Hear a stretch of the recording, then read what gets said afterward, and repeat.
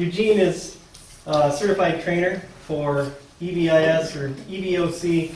He does, I mean, I looked at his calendar. We couldn't get in for two months because he's got three, four trainings a month. This is what he kind of does. He does it primarily with ambulance, MedStar, folks in Sioux Falls, and we looked at the NFPA standards and, um, you know, he's gonna teach it for the fire purposes here. This is the first part of a two-part certification, so attending the class tonight is the first part. The second part is we'll set up that obstacle course. We got a sign-up sheet up here, it's for June second. And Eugene will put the course together for us, which is by standards and practices, all the turns and everything we need to do. Where are we gonna do that? Um, at the high school on the north parking lot. They said they'd let us use it there. there. Is the second Saturday or Sunday? Saturday. So, everybody that can, that can get both parts in, um, they'll get the official certification for EVOC.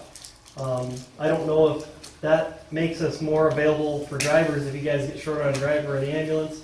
I have been told with, with fire departments, I think it's everybody has to get it, but if you've got EVOC certification, it helps with your insurance and, um, but overall, it's a good thing for us to be safe, to think about some things, some folks that haven't driven big trucks, or even those that have a CDL but haven't driven an emergency vehicle, everybody kind of knows is a different deal, so.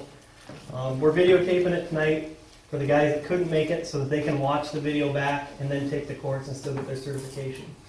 But, What if you can't make that second? well, Eugene mentioned before, and he probably regretted, he said if somebody couldn't make it on the course day, We may try to get together and come up with a date that coincides for everybody. Yeah. And we'll try to do a makeup date is the best way to put it. you know, But it'd probably only be one other available date. And apologize, there's no great time of year to do this. This, this is the first time in spring we get it, but, but thank you, Eugene, for making this happen, and I'll turn it over to Okay, him. so the first, I don't remember, it's like forty-five minutes, fifty minutes, is just a video. Um, there's actually a company that I'm affiliated with, uh, for certified emergency vehicle operation. Um, I go through a five-year rollout, every five years, I gotta go somewhere and become current on the data. Um, last one being in two thousand fifteen, so it's only three years old. Um, but like I said, pretty much as Shane said, you know, we're all ultimately, your safety is always priority, always, always number one. So watch the video, then I got a short PowerPoint, um, and then we'll kind of answer any questions somebody might have. So.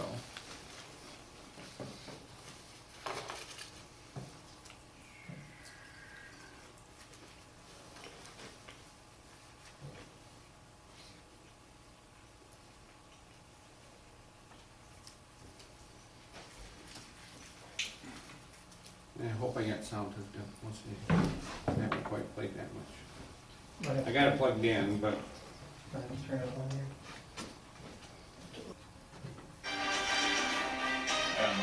There are millions of vehicles Can everybody pretty much hear that, though? each day. Among them are the many different types of emergency vehicles responding to hundreds of thousands of calls. As the operator of a fire department vehicle, you are entrusted with a tremendous amount of responsibility. Emergency vehicles are designed to carry personnel and equipment safely to the emergency scene and to return them to the station.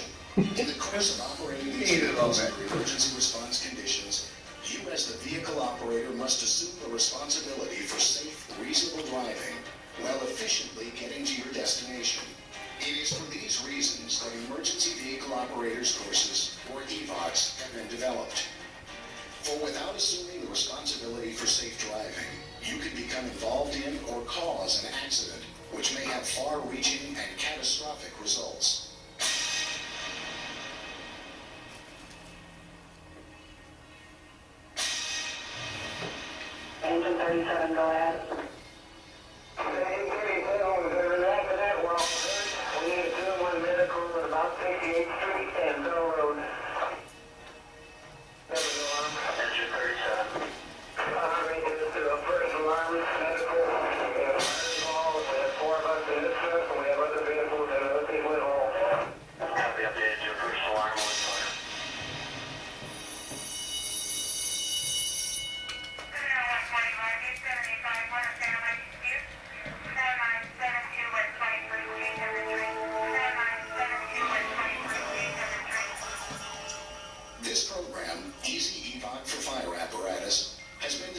to the program Emergency Vehicle Driver Training developed by the Volunteer Firemen's Insurance Services Incorporated and presents an overview of their training program. In addition, Easy EVOC for Fire Apparatus will focus on why emergency vehicle operators need EVOC training, the attributes of a good vehicle operator and driving system, and the legal aspects of emergency vehicle operations. We'll finish the program with emergency vehicle safe driving practices, the physical forces that affect driving, and emergency vehicle preventive maintenance. Driving a fire apparatus during an emergency response is dangerous. Effective driving under emergency conditions requires a mature person who is alert and has safe driving habits. Now to help illustrate the amount of responsibility you have while driving, you must think of yourself as your number one priority. Because if you have an accident, everyone has an accident. Without you, no one gets help. Your most important responsibility as the driver, whether in your personal vehicle or the emergency vehicle, is to return home or to the station safely. The privilege of driving to an emergency with red lights and siren places more responsibility on you, the vehicle operator, not less. You are asking through your warning devices for permission from other drivers on the road to be allowed to proceed to the emergency. You do not automatically have the right of way, and you cannot force it. With the added adrenaline rush, you must remain in control of the vehicle. Otherwise, an accident will happen. Most major accidents involving emergency vehicles occur at intersections. At intersections, vehicles usually collide broadside at their weakest and least protected area. Specific training to cross uncontrolled intersections is essential. These accidents carry not only the chance for civil actions against your organization and you personally, but also the possibility for criminal charges. Recent cases involve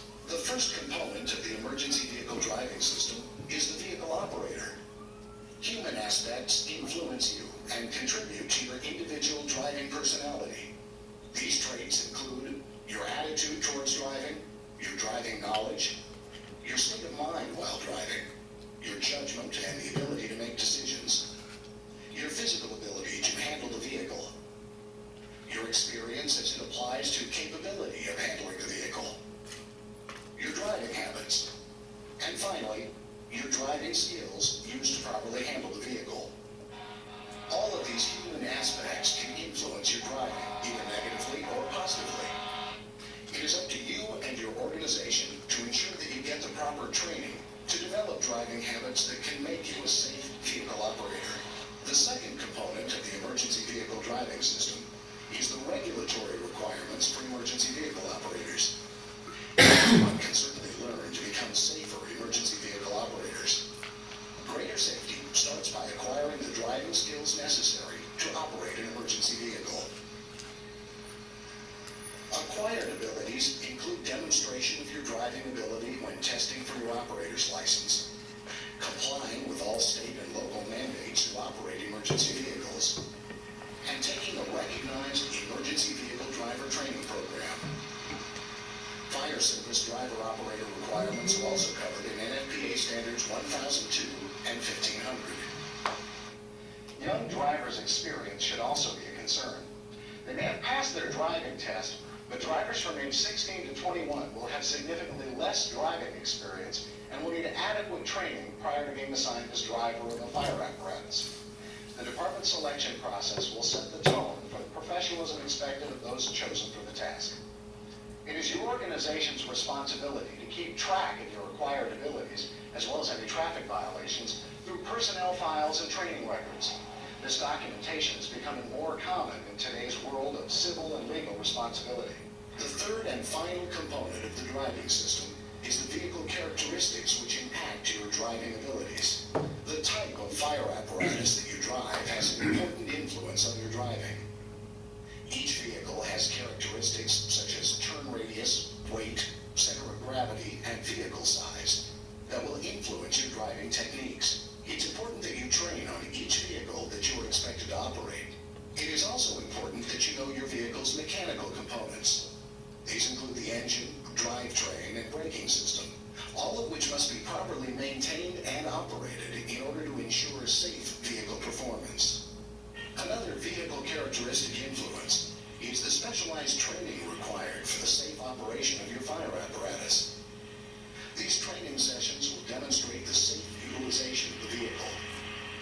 They will also demonstrate any of the vehicle's limitations. Emergency vehicle operators must realize that they cannot operate emergency vehicles as they would their personal vehicle. It is important to realize here that operating an emergency vehicle outside the recommendations of the manufacturer should never be attempted. Doing so can be dangerous to you, your crew, and the public. As an emergency vehicle operator, you must be well schooled in the laws and legal requirements under which you are allowed to operate and will be held accountable. In the past, fire departments were largely held to be immune from civil legal action. The threat of a lawsuit is larger today than ever. Individual vehicle operators are being held accountable for their negligent actions. Negligence is a very important term. In proper legal terms, negligence is defined as the omission to do something which a reasonable person, guided by those ordinary considerations which ordinarily regulate human affairs, would do, or the doing of something which a reasonable and prudent person would not do. It is the most common legal approach used to sue emergency vehicle operators. It refers to a legal deficiency resulting from the unsafe operation of an emergency vehicle, no matter how slight the negligence. As a member of an emergency service organization, you are required to render all aspects of your services in a reasonable and prudent manner. If you are negligent in your driving, whether non-emergency or emergency, and there has been injury or damage to others, then you and your organization may be responsible for making the injured party whole. Your organization has a responsibility to increase the efficiency of its personnel.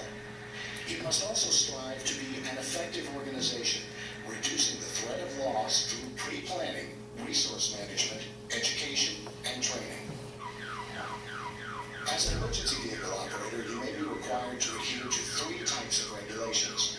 These include all motor vehicle and traffic laws and regulations, local ordinances, and your agency's operational policies and procedures. Your organization should have written standard operating guidelines that meet the standard of NFPA 1500. In most localities, there are three principles of emergency vehicle operation under the law. You are subject to all traffic laws and regulations unless specifically exempted. Exemptions are allowed only under emergency response situations, and you are still held accountable for your driving, both criminally and civilly, if involved in an accident, even with the exemptions applied. When dealing with traffic laws exempting emergency vehicle operators, remember that an interpretation of emergency can at times be very vague. Often, what is considered a true emergency, and thus what entitles you to drive with exemptions, is settled in court after an accident has occurred. Is the call that you are responding to a true emergency worth the risks being taken by responding with lights and siren? Another legal aspect for emergency vehicle operators is the term due regard. Due regard has to do with the actions you take while responding to an emergency and how you consider the safety of the public and yourself. Legally, due regard is defined as a reasonably careful person performing the similar duties and under similar circumstances would act in the same manner. Was enough warning given by your emergency signals before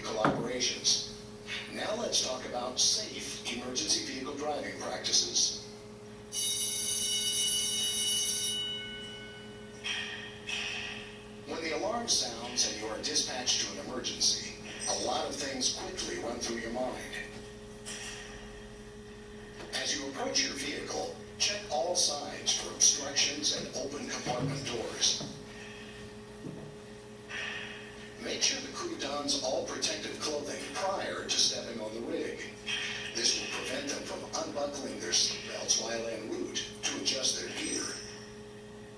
When you get behind the wheel, fasten your seatbelt, make any adjustments to the mirrors, look again for obstructions, and check to see that other crew members are properly seated with seatbelts fastened. Seatbelts are important to emergency vehicle operators and occupants.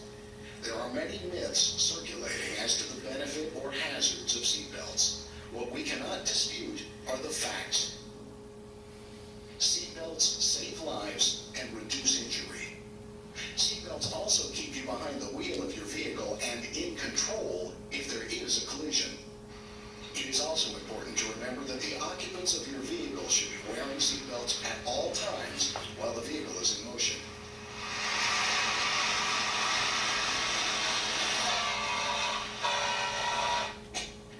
Not only is the use of seatbelts good common sense and safer, it's mandated by federal and state regulations. National standards such as NFPA 1500 also address the necessity of occupant restraints. Your department should have a written policy requiring the use of seatbelts by all occupants of an emergency vehicle at all times. It is important that you take a pre-planned approach to your response. Think about the best routes to the location of the emergency. You may need to quickly locate the incident on your map to refresh your memory. Consider traffic conditions at the time of the call. What are the weather conditions and how will they influence your driving? Now, begin your response. Physical laws of nature come into play as the vehicle accelerates. It is important that you know how to anticipate and handle these forces. When you step on the accelerator and the unit accelerates, physical forces immediately start to affect your vehicle. These forces include velocity, friction, inertia, momentum, and centrifugal force. The basis for safe emergency vehicle operations is understanding how to control your vehicle. Anticipating the actions of other drivers, the reaction of your vehicle, and avoiding loss of control are all important parts of safe emergency vehicle operations. The first form of control you have over your vehicle is velocity. As your vehicle accelerates, keep in mind that you are increasing its velocity. Increasing velocity lengthens the vehicle's braking distance. By slowing the speed, you shorten the braking distance. Remember that fire and rescue units are heavier than passenger vehicles. The greater weight affects the velocity of the vehicle differently. Another form of control you have over your vehicle is direction. You can steer to maneuver safely through an intersection or in traffic as long as your tires keep contact with the road surface. Once the tires lose contact with the road surface, you lose control of vehicle direction. Velocity and direction are important to your driving because they are forces that you can directly control. As you drive on the roadway, the friction of the tires against the roadbed creates resistance, allowing the vehicle to move forward. This is one way that friction affects your control of the vehicle. The friction will vary with different road surfaces, giving you more or less control of your vehicle. In wet conditions, the tires may hydroplane, causing the tires to lose their grip on the road surface, thus causing you to lose control of the vehicle. Friction also plays a part in stopping the vehicle. Brake shoes on drum-type brakes and brake pads on disc brake systems press against a steel surface, friction and causing the vehicle to slow down. When the brakes are in poor condition or become overheated, they become inefficient and may fade or fail altogether. Proper and regular vehicle maintenance will help to prevent poor brake condition. Inertia is the physical law that states an object continues in a state of rest or uniform motion in a straight line unless acted upon by an external force. Things that are stationary tend to stay that way, and things that are moving tend to keep moving until an outside force affects them. Applied to auto accidents, the irresistible force meets the immovable object and a collision occurs, causing substantial damage at the point of impact. The proper way to get the most braking from your brake system is to apply the brakes early and come to a slow stop. However, if a sudden hazard presents itself, you can also get quick performance by applying the brakes until just before they start to lock up. Remember, if you lock the brakes, the vehicle's wheels lose their grip on the road, causing you to lose control. This brings us to another point about control. In order for you to control the direction of your apparatus, tires must have good friction or grip on the road surface, and they must be rotating. If the front wheels lock up during a sudden stop, you will lose control of the vehicle. You will only regain control after the wheels are rotating again. Some fire service vehicles may be equipped with anti-lock braking systems. These braking systems automatically adjust the brake application between all four wheels, greatly reducing the tendency for the brakes to lock up during a sudden stop. Some large fire apparatus will also be equipped with an engine braking system to assist in slowing these heavier vehicles. You should be familiar with proper application of these braking systems according to the manufacturer's recommendations. Be aware that though they greatly enhance your safety, anti-lock braking systems may not always perform as expected. When your vehicle is moving, it is also acted upon by its momentum. Heavier vehicles, such as fire apparatus, have more momentum than do lighter vehicles. The forces needed to stop larger vehicles will be greater than those needed to stop smaller vehicles. Will be longer for fire apparatus than for a passenger car. It is also important to consider momentum when we look at the collisions between fire apparatus and passenger cars. Because they are larger and heavier, fire apparatus can inflict heavier damage and more severe bodily harm to a passenger car and its occupants. When your fire apparatus comes upon a turn or curve in the road, you should begin braking and downshifting. At this time, additional forces will begin acting on the fire apparatus. As the vehicle enters the turn, centrifugal force begins to pull you to the outside of the turn. This force causes an object to fly out from a curved path. The vehicle naturally tries to maintain a straight line as you guide it into the turn. The greater the velocity into the turn, or the sharper the turn, the greater the centrifugal force. If you turn too quickly or too sharply, the centrifugal force will be too strong to maintain proper control of the vehicle. In addition, if the wheels lock up when attempting to make the turn, the vehicle will lose its grip or friction with the road surface. Inertia will then cause the vehicle to travel in a straight line until the wheels are allowed to rotate and create needed friction. Centrifugal force will also be greater on heavier vehicles. For example, a 3,000 pound car entering a 500 foot radius curve at 60 miles an hour will have a centrifugal force of 1,400 pounds acting on it. A fire apparatus weighing 30,000 pounds at the same speed will have 14,400 pounds of centrifugal force acting upon it. Following other vehicles present another set of hazards for the emergency vehicle driver. A safe following distance, safe stopping distances, techniques to estimate safe following distances, and circumstances which dictate increasing your following distance are all important factors for us to consider. A safe following distance will allow you to stop or avoid a collision with the vehicle in front of you. Stopping distance is the sum of your reaction time plus the braking distance of your vehicle. The reaction time for most vehicle operators averages about three quarters of a second. Greater speed will increase the distance traveled during that reaction time. To calculate feet per second, it's easiest to multiply miles per hour by 1.5. When traveling at 40 miles an hour, your vehicle is traveling at 60 feet per second. Your reaction time of three quarters of a second would allow your vehicle to travel another 45 feet before your braking action begins. The braking distance starts with the application of the braking system and is completed when the vehicle comes to a complete stop. Greater speed and greater vehicle weight will increase the stopping distance of the vehicle. At intersections or unsafe areas, Simply taking your foot off the accelerator and placing it over the brake pedal will help to shorten your reaction time for braking. A safe following distance will allow for more reaction time and greater stopping distance. The four second rule is the best method for estimating a safe following distance. Stay at least four seconds behind the vehicle in front of you.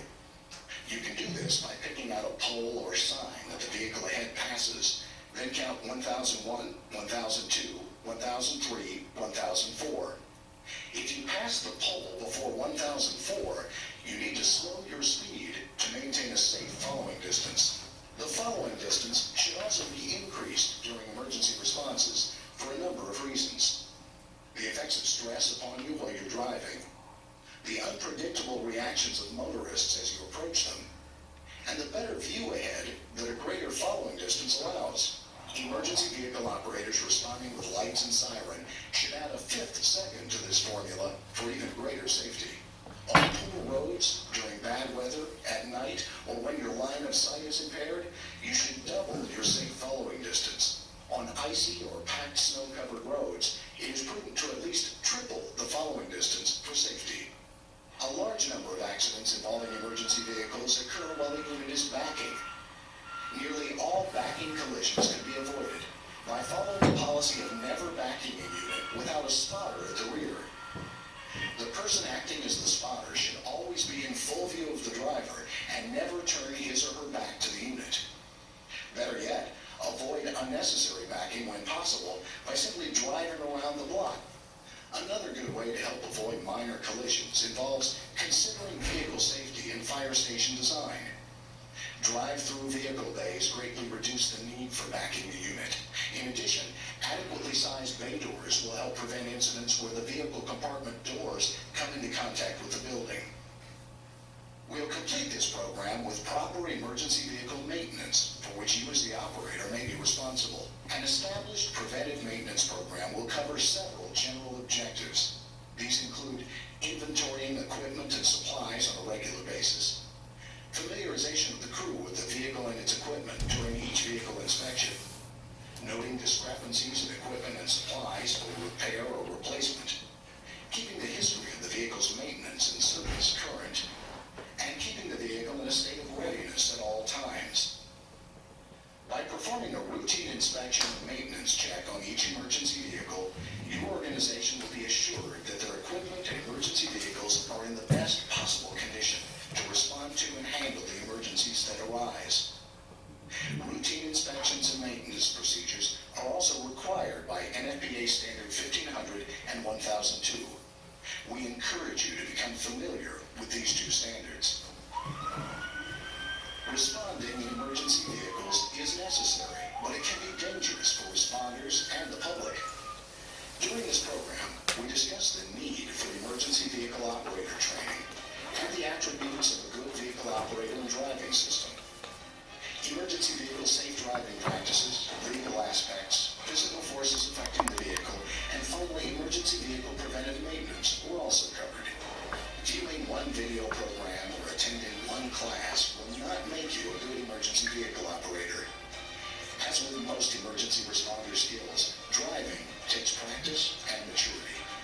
You must always keep in mind that you are not exempt from any driving regulations while responding to an emergency scene.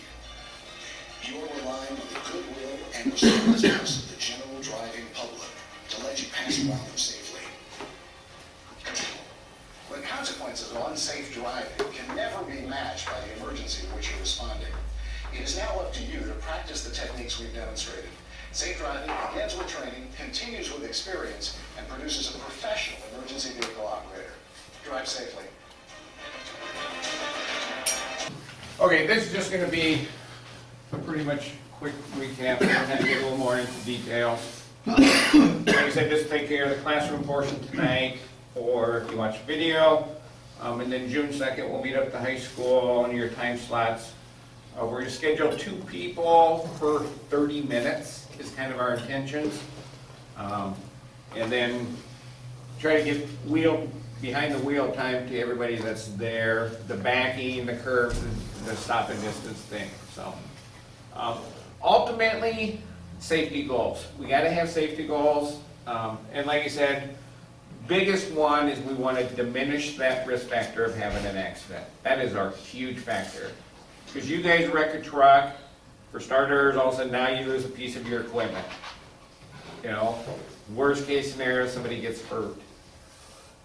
The ultimate thing, somebody dies, okay? So we just want to try to get that risk factor away, that we're eliminating that chance of, of being involved in an accident. As we said, personal safety, your safety, your partner's safety, and the community safety is all there.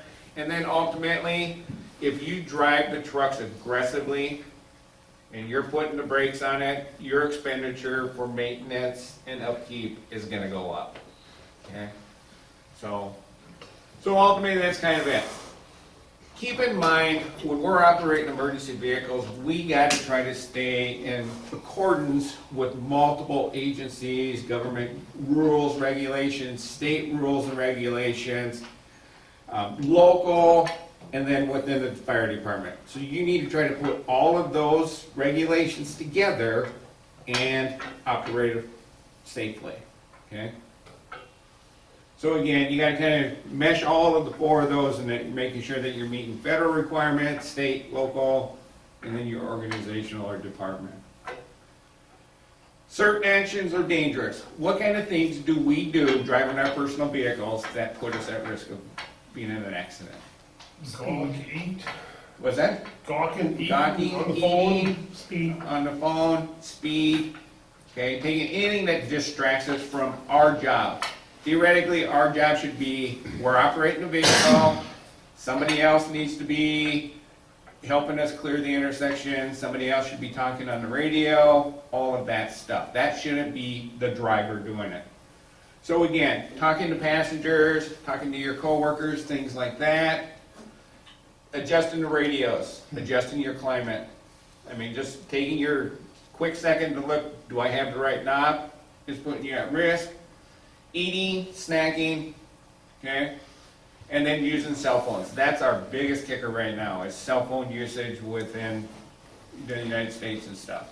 So again, whose safety is priority? We've kind of beat this to a pulp, I hope. You're always number one. You are the first thing that you need to keep in mind. Started my shift, I want to go home at the end of my shift. Okay? Um, Then my partner or partners, depending on how many people are in the truck with you, their safety needs to be within your limitations. Um, And lastly, of course, the community, okay? Kind of gets that bad image when Sioux Falls Fire, Dell Rapids Fire is involved in an accident, somebody's killed. You kind of get that black check mark after your organization, okay? So you are always, always number one. You can never forget that, okay? I mean, it's number